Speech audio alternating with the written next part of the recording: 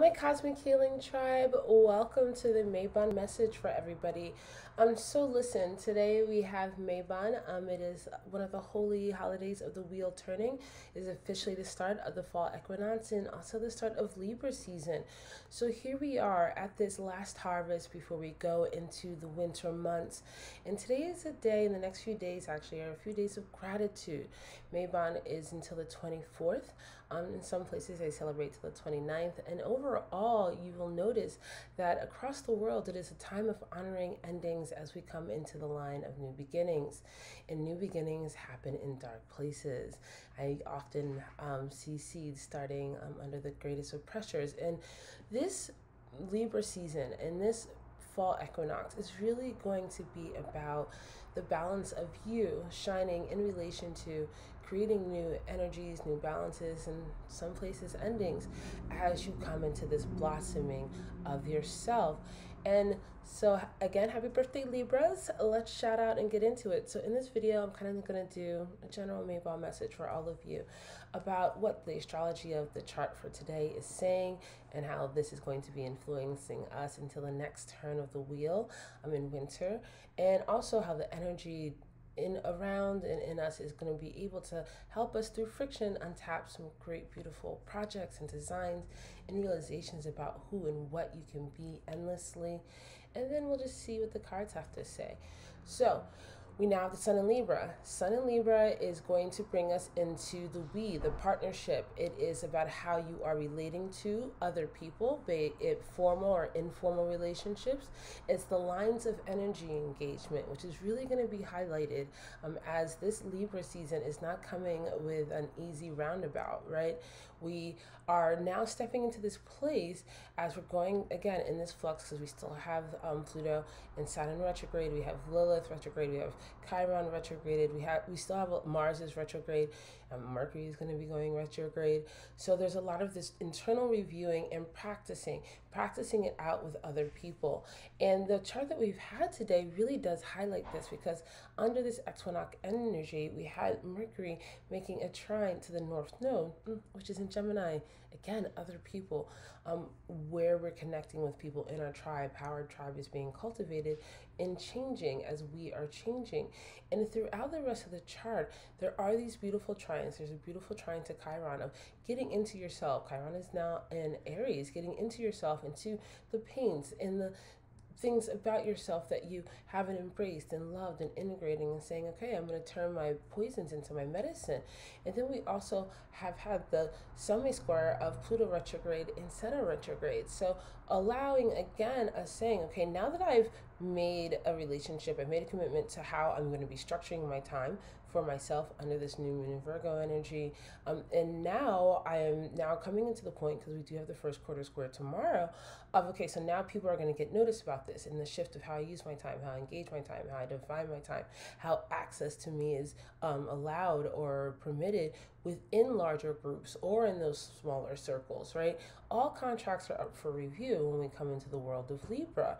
Um, and because of all the other astrology that we have going on, quite frankly, right? Because again, even with that Mars retrograde energy, what you're going to be doing, how you're going to be doing it, how you're not responding to certain people, places, or things in the ways that they're expected you to, or that you have in the past, all of these things lead to partnership and vibrational needs of imbalancing or imbalance that then require balance or release. And that's very much the energy of Mabon, right? It is that balance point, that line of I am grateful for what I have, I am solid for what I have, I've worked for, I appreciate what I have, and I planted some seeds that didn't come, right? And this reassessment of what you are going to be releasing, what is going to carry you over the winter winter months. I mean, it's not an accident we, uh, that it's this is also called cuffing season, right? Because this is where you're going, you are making, we are all as individuals in the collective making decisions about what we're going to take into the cold place with us. You know, Persephone is um, being, quite frankly, kidnapped um, into the underworld right now.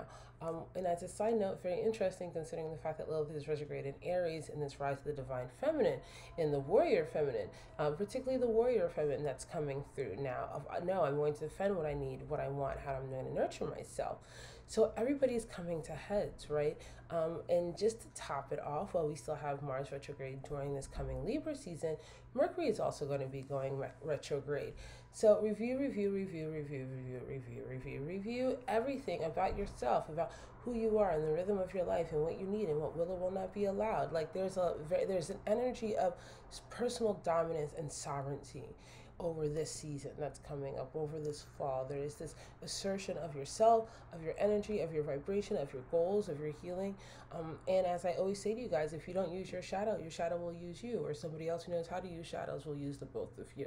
So, really allowing yourself and standing and being like, no, I'm going to claim my balance, I'm going to claim my energy, I'm going to nurture myself, I'm going to preserve my energies, I'm going to be very judicious with how I move and what I do and how I speak. That's the higher evolution, evolution, evolution, evolution. We'll see what they have to say about that with the Mars retrograde energy that we have until the end of the year.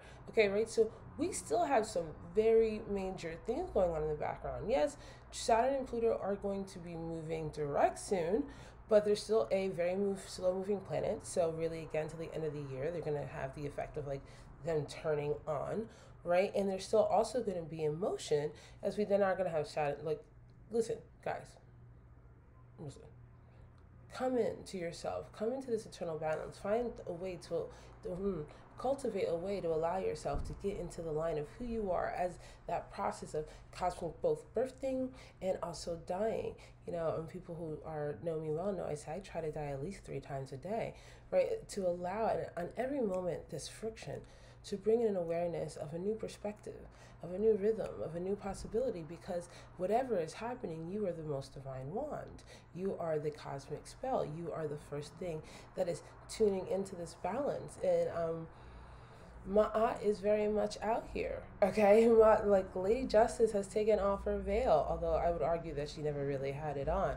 And so, where there is this kind of balancing in awareness, consequences, and reward that is happening right now. So, either way, nobody gets a total A, right? And nobody has ever completely failed unless you've been on some other ish, and that's another video and another conversation, right? But in this present point of balance, you're in process.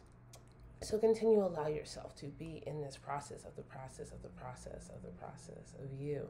And so the cards that we get, we get the Ace of Cups. Hello, allowing yourself to feed yourself with new ideas, new emotions, new expressions, getting into your own head. Even letting, listen, tears in water are beautiful and powerful energies. Let them wash, let them flow, let the dance break and come into a new balance. Two of Cups, it's so beautiful, with yourself, right? I love the Two of Cups first. As you guys know, I always apply to to self first. And so when we have this Two of Cups energy here, it's saying, I'm going to come into balance with my masculine, my feminine, my light and my dark, my lines in between. I will be balanced. I will seek my balance. I will commit to my balance. I will commit to working out the things that are difficult because I'm finding a new balance. I allow myself in step into flow. And then we literally have the Emperor card come out because this is about domination. This is about, and not in, you know, hmm, it's about domination of self. It's about, about domination and saying, listen, as a sovereign being, as a person here and present and alive and willing, I am engaging in my soul contract. I'm going to be accountable for what's in my in my kingdom, in queendom, in daydom, for good or for bad, right? You have to. There's an awareness that's there's an energetic awareness of accountability that is required to allow yourself mm, to manifest, to mutate, and transmute energy into a higher level, right? You not everything is sweet, but baby, that doesn't mean bitter is bad. And then there's also we're coming up with the two of wands. Hello, there is a risk. There is a touch of the bendito that you have to allow for yourself when you're making these changes. Of I've got some things done. I got one wand. I'm developing another wand. I'm in flux. I'm in motion.